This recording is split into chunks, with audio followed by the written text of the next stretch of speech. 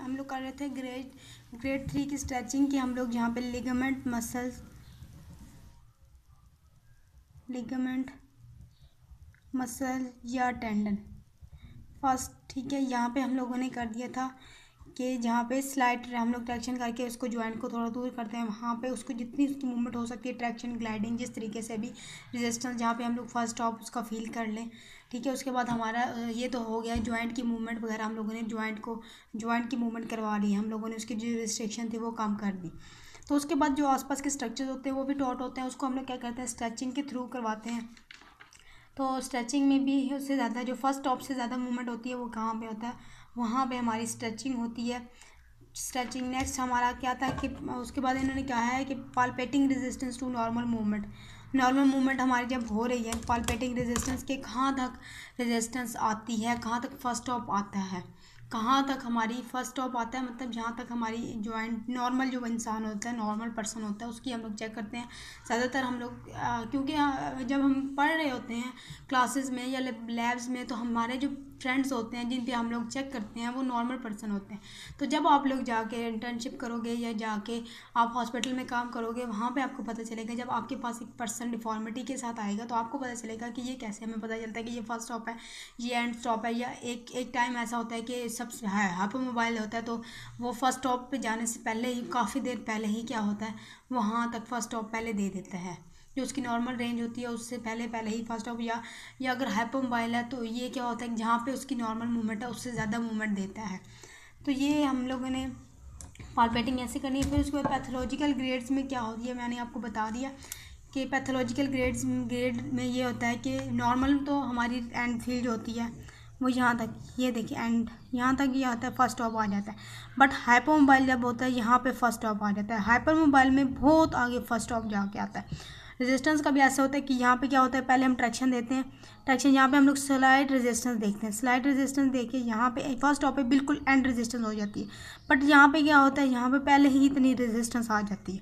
और यहाँ पे देखिए यहाँ पे नॉर्मल पे जाके, यहाँ पे जाके रेजिस्टेंस आती है। ओके उसके बाद हमने ये हमारा था चैप्टर नंबर टू उसके बाद यूजेस हैं। यूजेस क्या क्या हैं? फ़र्स्ट ग्रेड में हम लोग पेन रिलीफ करवाते हैं। पेन रिलीफ और उसके बाद ट्रैक्शन देते हैं। हम लोग first of all grade one पे पेन रिलीफ होती है। उसके बाद हम लोग को रिड्यूस कम फ्रिक्शन रिड्यूस करवाते हैं। मैं नेक्स्ट पेज पे आपको लिख के बताती हूँ। ग्रेड वन हम लोग, आपने देखा है ट्रैक्शन में। ट्रैक्शन हम लोग कैसे पिछली वीडियो जिसने नहीं देखी तो काइंडली देख ले। उसमें ग्रेड बहुत अच्छी तरह बताए हुए हैं। ठीक है ट्रैक्शन देते हैं। रिलीव पेन ठीक है, क्या करता है? रिलीव पेन करवाता है। रिड्यूस फ्रिक्शन और मोबिलाइजेशन को facilitate and facilitate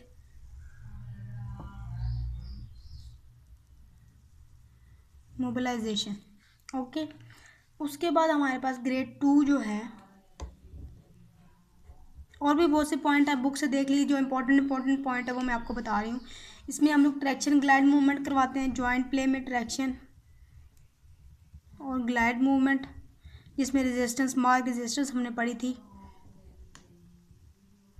उसके बाद यहाँ पे relieve pain treatment take place in the slack zone not in the ठीक है? पेन जब हमने रिलीव करनी होती है तो सिर्फ़ स्लैक जोन में पेन रिलीव करते हैं, ठीक है? पेन रिलीव का, स्लैग जोन में पेन रिलीव करते हैं।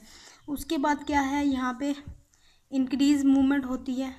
जहाँ पे भी टॉट स्ट्रक्चर्स हों, वहाँ पे क्या हो? इंक्रीज मूवमेंट ठीक है? जैसे इंक्रीज मूवमेंट में, जैसे पेन है या मसल स्पैज्म है तो वहाँ पे मूवमेंट लिमिट हुई है या शॉर्टन है टिश्यू तो हम लोग इसमें ये करते हैं। उसके बाद क्या है? ग्रेड थ्री ग्रेड थ्री क्या है ये, play and feel. And feel ये होती है कि जहाँ पे हमारी मूवमेंट लिमिट हो जाती है, वहाँ पे मूवमेंट ख़त्म हो जाती है। ठीक है joint play joint play and feel और उसके बाद क्या टिश्यू मोबिलिटी इंक्रीज़ होती है, जो आसपास के स्ट्रक्चर्स हैं, उनकी मोबिलिटी इंक्रीज़ होती है। और स्ट्रेचिंग होती है टिश्यूज़ की।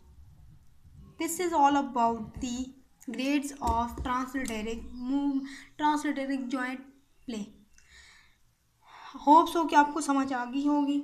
इसकी से चैप्टर नंबर टू हमारा कंप्लीट हो गया है। नेक्स्ट इंशाल्लाह chapter number three test of function and all जितने भी चैप्टर्स हैं इंशाल्लाह आई विल अपलोड जजाकल्ला खैर दुआ में याद रखिएगा।